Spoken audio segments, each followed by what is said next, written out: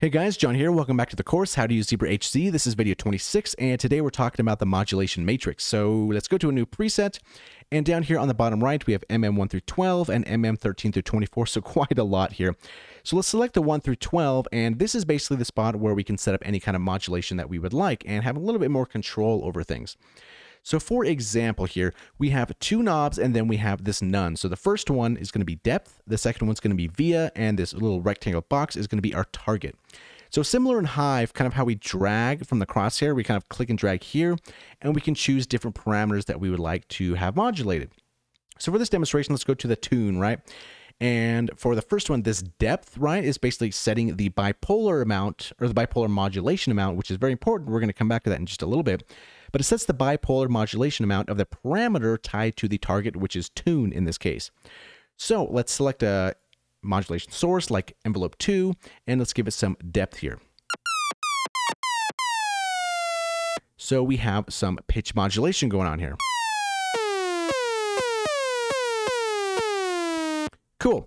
So basically in this situation, it's kind of like we select this none here and then we select envelope two and then give it some depth. It's basically the same thing going on here. However, the difference in this case is that we has, have this via knob, which is interesting because it's a secondary modulation or modulation source that controls how much of this depth actually reaches its target. So for example, let's say we have something like this going on and we select mod wheel over here now, if it's all the way, if our mod wheel is all the way at the bottom, then this envelope is not going to have any effect. If we have our mod wheel all the way at 100%, then this modulation amount, this depth that we have right here, is going to be at its full value. So it's kind of a cool way to have a, a full range of modulation and have a different parameter basically control how much of that depth actually affects its target. Very cool concept in that sense. Something that I do want to mention though before we move on to the bipolar stuff that negative amounts scale the modulation amount from 100 to 200%. So be a little bit careful with that if you're kind of going into the negative territories there.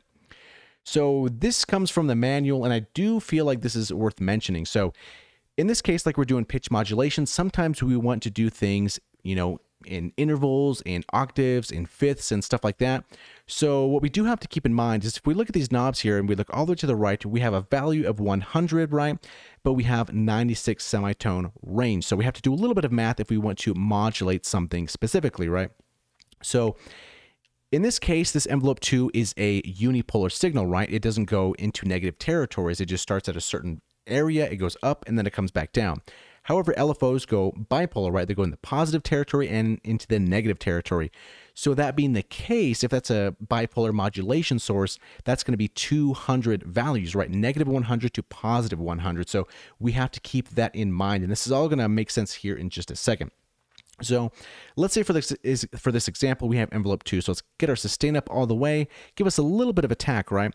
And if if we want to go up one octave, for example, right?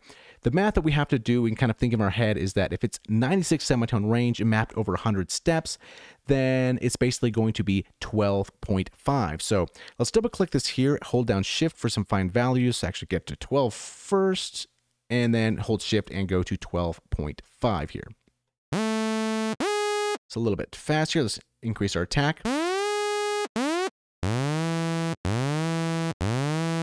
So the first note I'm hitting is basically the first root note, and then this modulation, since it's 12.5, is actually going up one octave.